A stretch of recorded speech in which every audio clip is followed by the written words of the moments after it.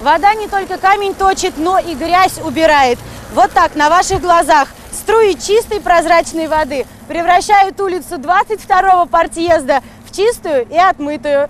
Лишняя вода стекает в ливневки. Под ярким солнцем асфальт и плитка высыхают за пару минут, только уже без грязи и пыли. Десяток рабочих и шесть спецмашин. У каждого своя зона ответственности. Техника в помощь человеку, который любит свою работу. И наоборот, там, где недостает механизированная щетка, рабочие подметают вручную.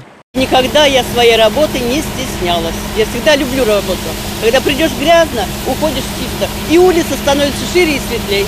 Месяц генеральной уборки, когда вывозили мусор, накопившийся за зиму, закончился. Теперь перешли в режим постоянного поддержания города в чистоте. Под контролем вся дорожная территория от трамвайных путей через проезжую часть до газона, пешеходных тропинок и прилотковой части. Рабочие усердно моют дорогу и собирают в мешки мусор, пыль и тополиный пух, которого в последние годы на дорогах стало ощутимо меньше. В городе систематически проводят кронирование тополей. С этого года работой занимаются и районные администрации. А вдоль основных магистралей деревья уже обрезали. Они э, выпускают новую крону, которая в течение лет пяти пух не несет работы будут продолжаться. Поэтому на дорогах пух стал меньше. Основной пух на дороге это заносится именно с дворовых территорий, которые также в рамках убора собираются.